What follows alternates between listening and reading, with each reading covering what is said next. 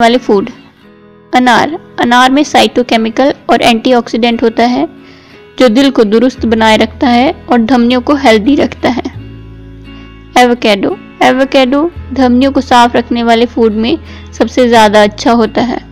हर महिलाएँ प्रतिदिन इस फल का सेवन करें तो उनके शरीर में बैड कोलेस्ट्रॉल की छुट्टी हो जाएगी और उनके शरीर में रक्त का संचार अच्छी तरह होगा। साबुत अनाज साबुत अनाज में फाइबर की मात्रा बहुत ज़्यादा होती है। यह शरीर में खून से कोलेस्ट्रॉल की बाइंडिंग रखता है और रक्त को शुद्ध भी बनाए रखता है। साबुत अनाज में brown rice, oatmeal, whole white bread को खाया जा सकता है। Green tea. ग्रीन टी में एंटीऑक्सीडेंट भरपूर मात्रा में होते हैं।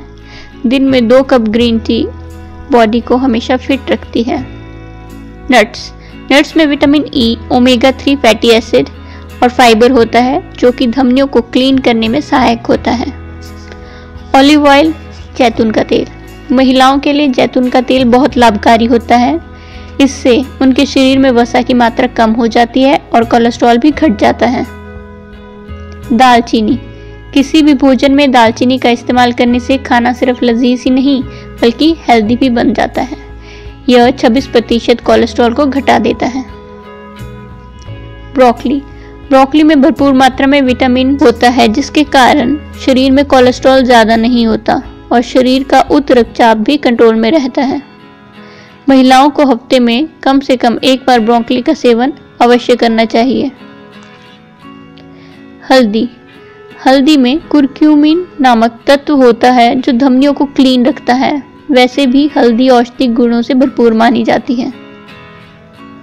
पालक। हरी पत्तेदार सब्जियों में पालक का नाम सबसे पहले आता है। यह पोटेशियम से भरपूर होती है और इसमें आयरन भी काफ़ी ज़्यादा मात्रा में होता है। आयरन की मात्रा शरीर में पर्याप्त होने से ऑक्सीजन का